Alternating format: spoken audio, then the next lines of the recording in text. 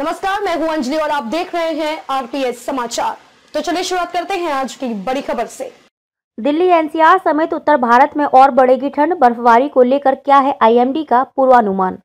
मौसम विभाग की माने तो आज राष्ट्रीय राजधानी दिल्ली में न्यूनतम तापमान 6 डिग्री और अधिकतम तापमान 25 डिग्री तक रह सकता है। ठंड का असर एनसीआर के क्षेत्रों में भी दिखाई देगा। राष्ट्रीय राजधानी दिल्ली समेत उत्तर भारत में ठंड का असर देखने को मिल रहा है। रविवार को दिल्ली एनसीआर में सुबह से ही धुंध दिखाई दे रही है। इस बीच मौसम विभाग ने राजधानी दिल्ली समेत उत्तर भारत में शीतलहर को लेकर अलर्ट जारी कर दिया है। उत्तर भारत के कई राज्यों में शनिवार शाम से ही तापमान में गिरावट दर्ज की गई है।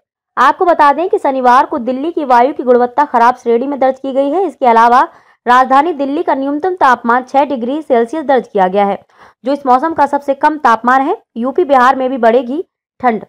वहीं मौसम विभाग ने यूपी, बिहार में ठंड बढ़ने की संभावना जताई है। मौसम विभाग के अनुसार उत्तर प्रदेश में अगले कुछ दिनों में ठंड बढ़ेगी, जिसके कारण उत्तर प्रदेश के कई जिलों का तापमान भी गिर सकता है। लखनऊ में न्यूनतम तापमान 9 और अधिकतम तापमान 24 डिग्री तक रह सकता है। वहीं मौसम विभाग ने बिहार में कोहरे के रहने की उम्मीद जताई है। मौसम विभाग की माने तो कोहरे के कारण बिहार में तापमान गिर सकता है।